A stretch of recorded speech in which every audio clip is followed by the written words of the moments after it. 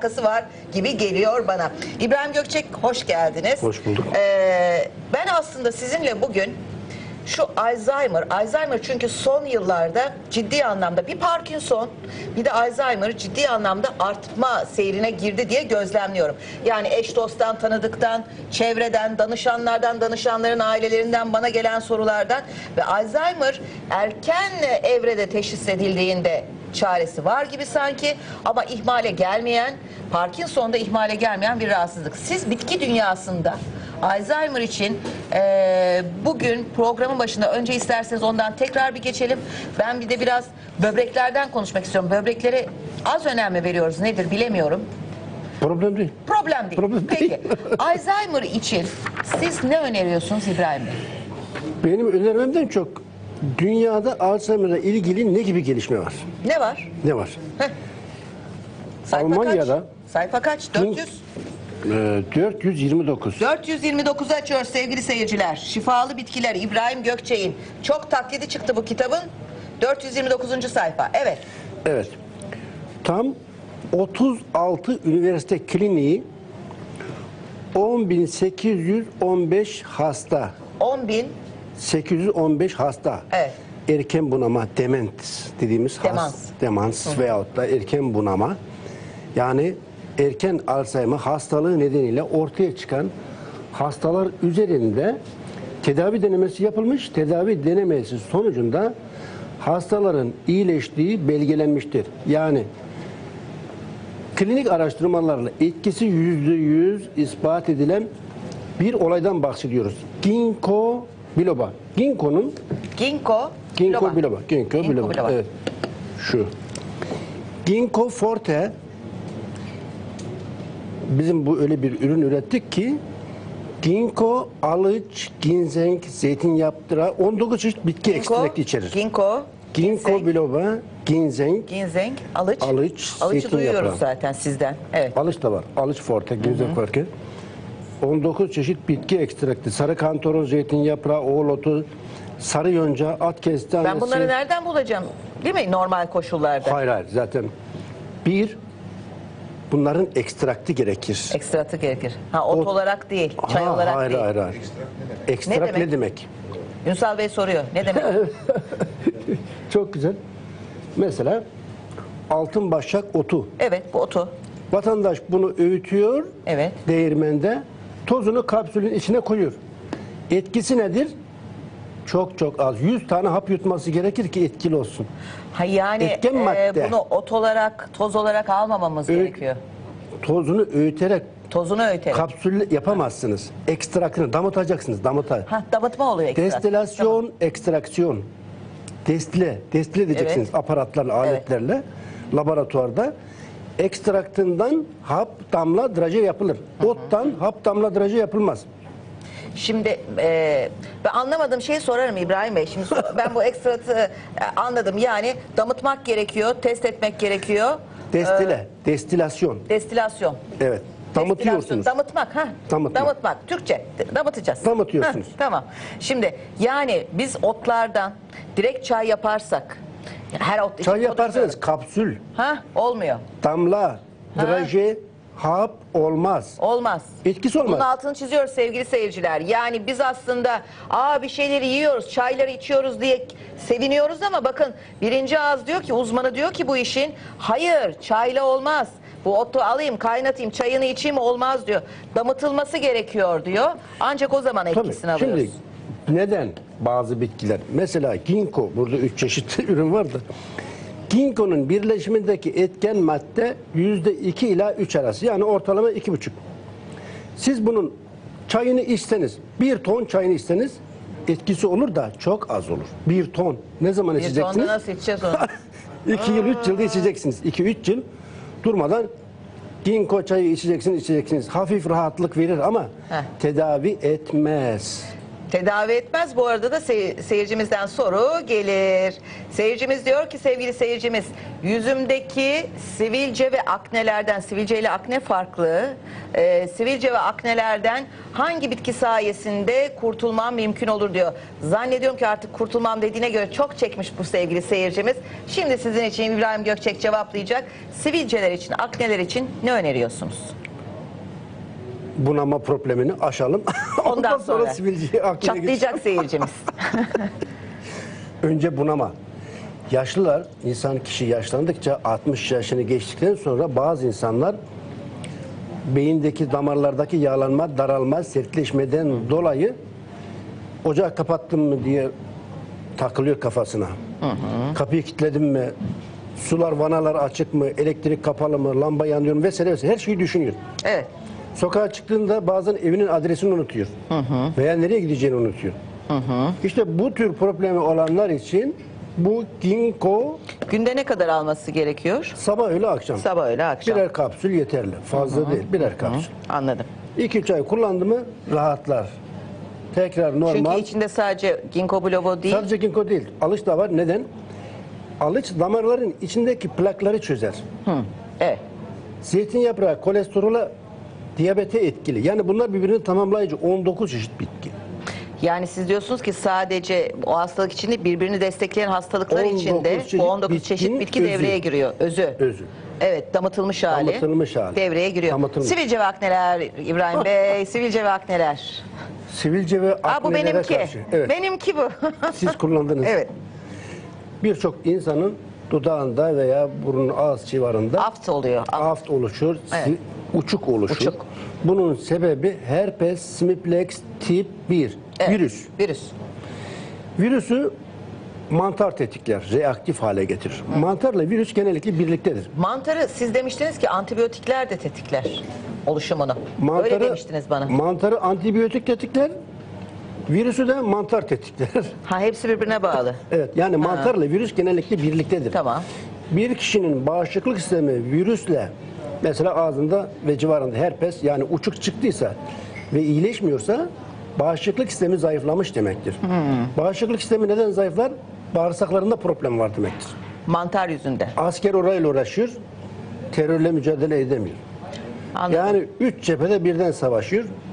Güney, doğu, kuzey derken virüsle mücadele edemez hali. Zayıf bir nokta oluşuyor. Siz hep bağırsakların üstünde duruyorsunuz. Dikkat ediyorum da ben buna. Yani bağırsaklar, bağırsaklardaki mantar hep ve karaciğer çok üstünde Evet. duruyorsunuz.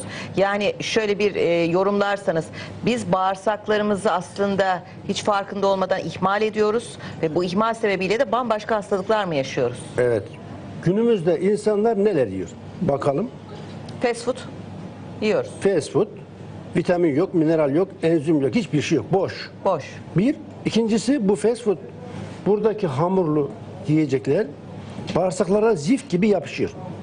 Vitamin, mineral, enzim olmadığı gibi bağırsakların fonksiyonunu Bütün hamur azaltıyor. yiyecekler mi? Yani fast Bütün- food, Ha, bir tek beyaz un mamulleri. Anladım. Anladım. Bağırsaklara zift gibi yapışıyor. Peygamber Efendimiz unun elenmesini yasaklamış. Peygamber Efendimiz'den Hazreti Ali'ye kadar Unun un elenmesi yasaklanmış. yasak- elenmemiş. Ne zaman ki Yezid tahtı ele geçirmiş, beyaz undan ekmek yapılmasını tavsiye şey yapmış, emretmiş. Yezid'le sünnet bozulmuş. Aa, bu, ben bunu bilmiyordum. Bildiğimi bilirim, bilmediğimi Evet. bilmiyorum. İbrahim Bey'den Yezid, duyuyorum. Yezid'le başladı Evet, beyaz un. evet. Almanya'da Ernährungs diye Gesellschaft diye bir enstitüsü var. Bu enstitünün yapmış olduğu araştırmada buğday üzerine buğdaydaki vitamin, mineral, enzim buğdayın kabuğunda olduğu belgelenmiştir. B2, B3, B6, B12 vitamini, çinko, demir, magnezyum, kalsiyum Aslında buğday faydalı da biz onu zararlı hale dönüştürüyoruz kabuğunda Tabii vitamin, ya, mineral, ya. enzim. Evet. Siz kabuğunu ne yapıyorsunuz? Atıyorsunuz Atıyoruz. veya hayvanlara veriyorlar Evet. köyde. Evet. Kendileri beyaz unu tercih ediyorlar. Biz zararlıyı alıyoruz. Evet. Yine bir seyirci sorumuz var. Midemde yanma var diyor sevgili seyircimiz. Çok fazla e, yanma var diyor. Yağsız yemek yesem bile yani seyircimiz o yanmayı yağsız yemek yese bile çözümünü bulamadığını söylüyor. O yağsız yemeğin bile midesine dokunduğunu söylüyor. Hangi bitkileri kullanmam lazım diye sormuş.